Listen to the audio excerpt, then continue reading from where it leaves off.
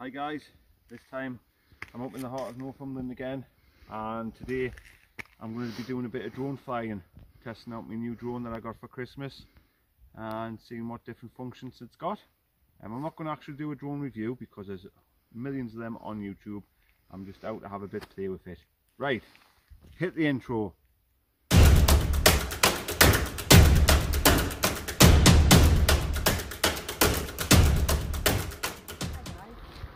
Morning, out again, and this time up at uh, Scott's Coulford Woods, where I've been a few times.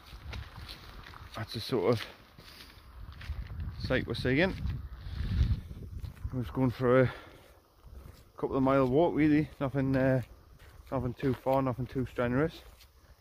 And uh, we're going to see if the weather stays alright. We're going to see if we can uh, have a bit play with my new toy that I got for Christmas. Um, as you can probably tell by the thumbnail, it's a DJI drone. So we're going to hopefully take that for a little test flight and do some videos of that, just get used to using it. Um, I'm filming on my Samsung phone today because my GoPro 8 broke again. So I've had to send it off to GoPro and they said they're going to replace it with a GoPro 9 which is nice of them but um, I'm led to believe that the GoPro 9 has quite a few faults as well. So we'll have to watch that space.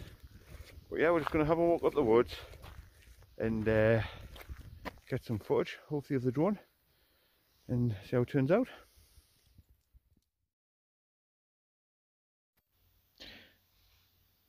This was the first time I took the drone out.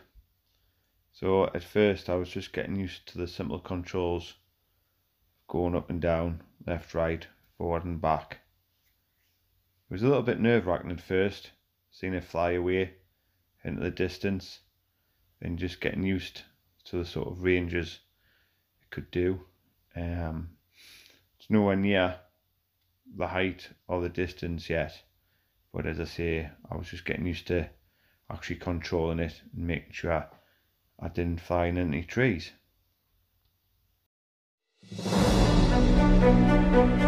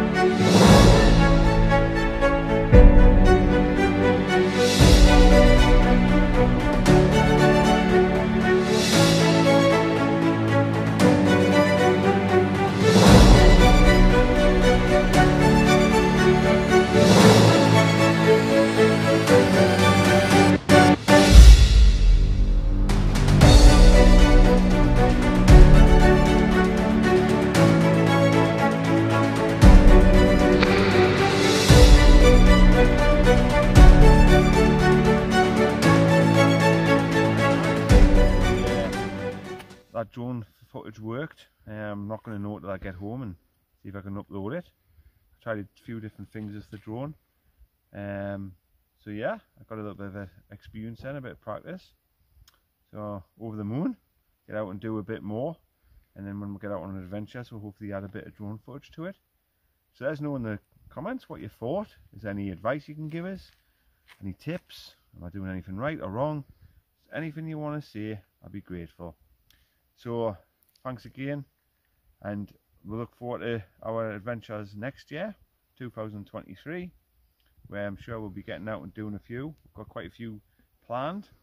A multi-day hike as well and probably more reviews and more adventures. So happy new year and we'll see you in 2023 don't forget to like and subscribe